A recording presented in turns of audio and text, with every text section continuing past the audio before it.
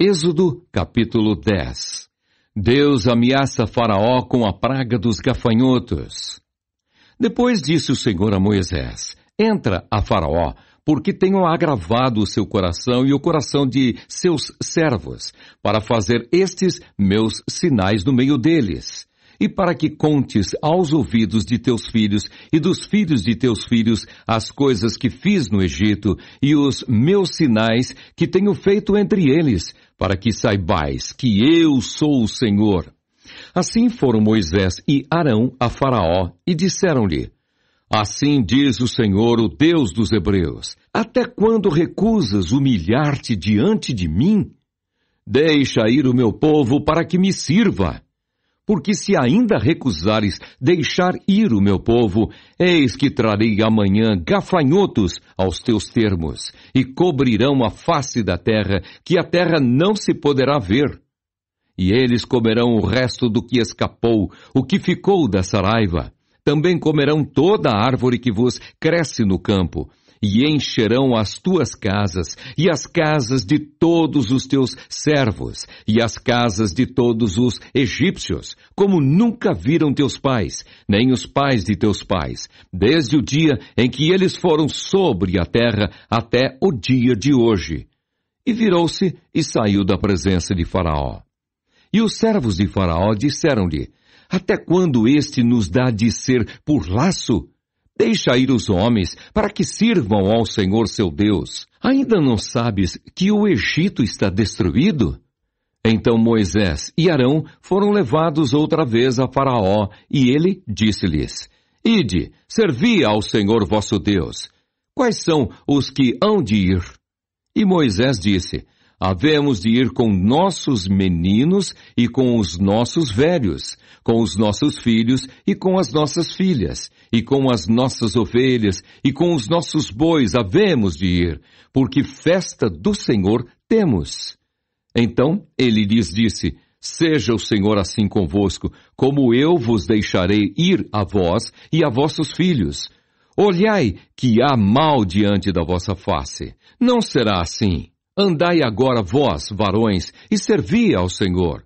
Pois isso é o que pedistes, e os lançaram da face de Faraó. A praga dos gafanhotos.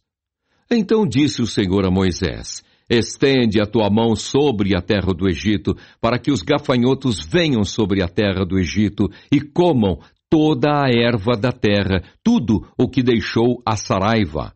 Então estendeu Moisés sua vara sobre a terra do Egito, e o Senhor trouxe sobre a terra um vento oriental todo aquele dia e toda aquela noite. E aconteceu que pela manhã o vento oriental trouxe os gafanhotos. E vieram os gafanhotos sobre toda a terra do Egito, e assentaram-se sobre todos os ermos do Egito muito gravosos foram. Antes destes, nunca houve tais gafanhotos, nem depois deles virão outros tais. Porque cobriram a face de toda a terra, de modo que a terra se escureceu, e comeram toda a erva da terra, e todo o fruto das árvores, que deixara a saraiva, e não ficou verdura alguma nas árvores, nem erva do campo em toda a terra do Egito. Então Faraó se apressou a chamar a Moisés e a Arão e disse: Pequei contra o Senhor vosso Deus e contra vós. Agora, pois, peço-vos que perdoeis o meu pecado somente desta vez e que oreis ao Senhor vosso Deus, que tire de mim somente esta morte. E saiu da presença de Faraó e orou ao Senhor. Então o Senhor trouxe um vento ocidental fortíssimo, o qual levantou os gafanhotos e os lançou no Mar Vermelho. Nem ainda um gafanhoto ficou em todos os termos do Egito. O Senhor, porém, endureceu o coração de Faraó e este não deixou ir os filhos de Israel. A praga das trevas.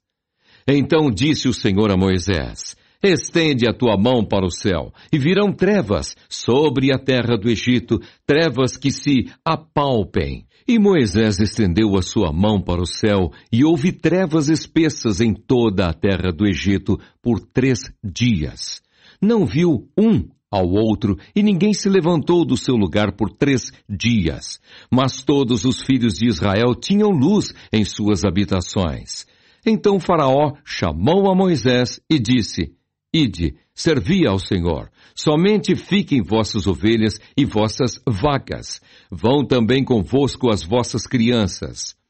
Moisés, porém, disse, Tu também darás em nossas mãos sacrifícios e holocaustos, que ofereçamos ao Senhor nosso Deus, e também o nosso gado há de ir conosco, nenhuma unha ficará, porque daquele havemos de tomar para servir ao Senhor nosso Deus. Porque não sabemos com que havemos de servir ao Senhor até que cheguemos lá. O Senhor, porém, endureceu o coração de Faraó, e este não os quis deixar ir. E disse-lhe Faraó: Vai-te de mim, e guarda-te que não mais vejas o meu rosto, porque no dia em que vires o meu rosto, morrerás.